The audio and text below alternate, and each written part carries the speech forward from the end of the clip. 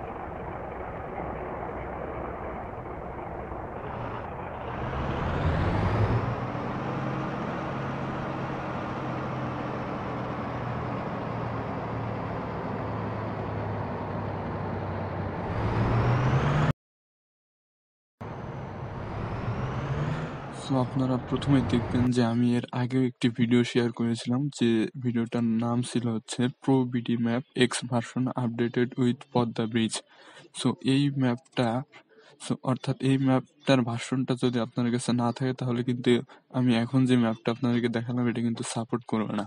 So আপনারা প্রথমে আমার যে BD X map updated with Padma bridge যে ভিডিওটা আছে, এই ভিডিওটার দেখে আপনারা প্রথমে এই ম্যাপটা সেট দিয়ে নেবেন, নাহলে কিন্তু এটা কাজ করবে না। সো এই ম্যাপটারই এটা হচ্ছে একটা আপডেট ভার্সন সো প্রথমে আপনারা দেখবেন যে আমার ভিডিও ডিসক্রিপশন নিচে একটা লিঙ্ক পাবেন আপনারা এরকম।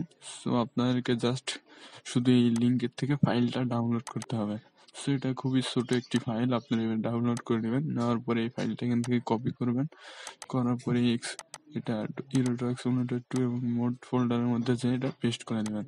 মোড ফোল্ডারের মধ্যে পেস্ট করার মতো বরাবর আগের মতো আপনারা আবার মেইন গেমে চলে যাবেন।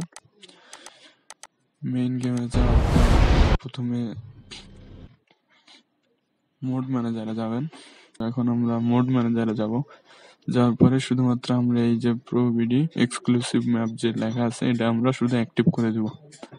আচ্ছা অ্যাক্টিভ করে দেওয়ার পর আমরা এখন কনফার্ম চেঞ্জ দিব দেওয়ার পরে কন্টিনিউ গেমে ক্লিক করবেন।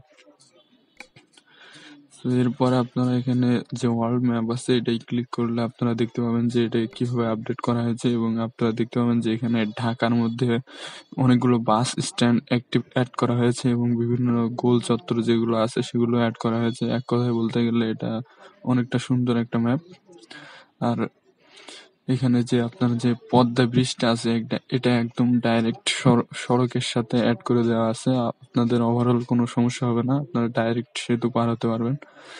সো ম্যাপটা এরকম করে আপডেট করা হয়েছে। সো ভিউয়ার্স ভিডিওটি যদি ভালো লাগে, তাহলে যদি পারেন একটি লাইক দিবেন, আর যদি পারেন, তাহলে আমাদের চ্যানেলটি সাবস্ক্রাইব করে রাখবেন।